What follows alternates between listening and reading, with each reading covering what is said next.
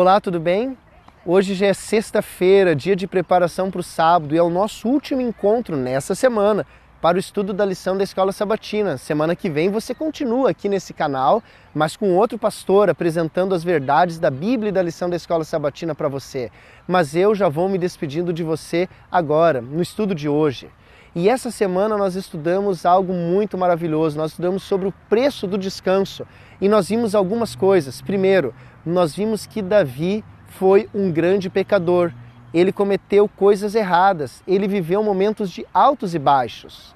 Nós vimos uma segunda coisa: não importa se nós somos pecadores, Deus é maior do que o pecado e ele está disposto a nos perdoar. Ele perdoou Davi que cometeu tantos pecados, tantos erros, tantas coisas graves. Deus perdoou Davi e usou Davi. Chegou a chamar Davi de o homem segundo o seu coração. Então eu quero dizer para você, Deus também pode te perdoar e fazer uma obra maravilhosa na sua vida.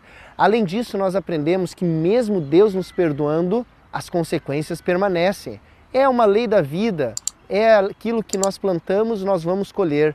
Então, quando cometemos uma coisa ruim, embora Deus nos perdoe, nós temos que ser maduros e nós temos que assumir as responsabilidades e pagar o preço da nossa transgressão.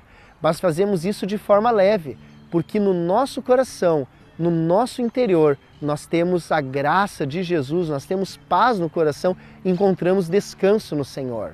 E também outra coisa maravilhosa que nós aprendemos essa semana é que Deus tem um plano e um propósito para nós.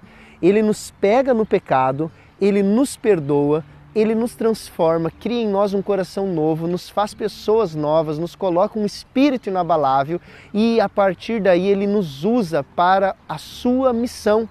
Ele nos usa para cumprir a sua vontade. E o propósito da vida de Deus se torna cumprido na nossa vida quando nós podemos testemunhar e com os nossos lábios, com o nosso exemplo, com a nossa vida, nós possamos dizer que há um Deus e que esse Deus é poderoso, que esse Deus perdoa pecados, que esse Deus transforma as pessoas e que a vida das pessoas pode ficar muito melhor ao lado de Deus. Por isso eu quero estimular você, querida amiga e querido amigo, a buscar o Senhor Jesus, a buscar sempre o Senhor.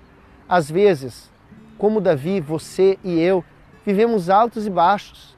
Quando estamos nas fases de baixa, quando estamos nas fases de falha, de pecado, por favor, não permaneça no pecado. Vá até Jesus, confesse o pecado, peça perdão, receba graça, renovação, uma nova vida e a partir daí brilhe por Jesus. O descanso, a paz do seu coração teve um preço muito alto. Custou o sangue de Jesus Cristo na cruz, mas esse preço já foi pago e agora está à sua disposição de graça. É só aceitar, é só querer.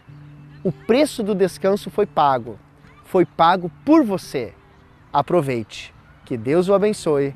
Tenha uma boa sexta-feira e um feliz sábado amanhã. Amém.